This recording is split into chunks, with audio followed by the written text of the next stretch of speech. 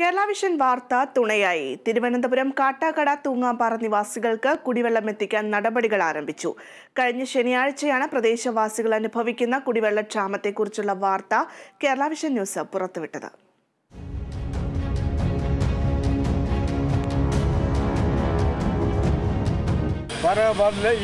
പെണ്ണുങ്ങളെ ദാഹത്തിന് വേണ്ടി നട്ടോട്ടം തിരിക്കുക നെട്ടോട്ടം.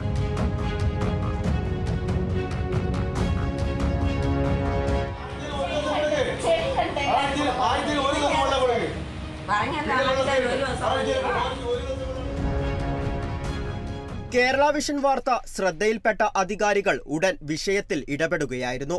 കാട്ടാക്കട ഗ്രാമപഞ്ചായത്തിലെ തൂങ്ങാംപാറ പതിനാറാം വാർഡിൽ ഇരുപതോളം കുടുംബങ്ങളാണ് മാസങ്ങളായി കുടിവെള്ളമില്ലാതെ ബുദ്ധിമുട്ടിലായത്. നിരവധി തവണ പരാതി നൽകിയിട്ടും നടപടിയില്ലാത്തതിനെ തുടർന്ന് ഇവർ കാട്ടാക്കട ജല അതോറിറ്റി ഓഫീസിലെത്തി പ്രതിഷേധിച്ചിരുന്നു.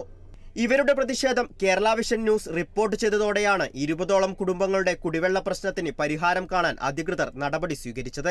കാളിപ്പാറ ശുദ്ധജല പദ്ധതിയിലെ പ്രധാന പൈപ്പിൽ നിന്നാണ് ഈ പ്രദേശങ്ങളിൽ ശുദ്ധജലം എത്തിക്കുന്നത്. കാട്ടാക്കട പഞ്ചായത്തിലെ മറ്റു വാർഡുകളിലെല്ലാം ശുദ്ധജലം തടസ്സമില്ലാതെ ലഭിക്കുമ്പോഴായിരുന്നു പതിനാറാം വാർഡിലെ കുടുംബങ്ങൾക്ക് ഈ ദുരവസ്ഥ. Kerala vision news Thiruvananthapuram.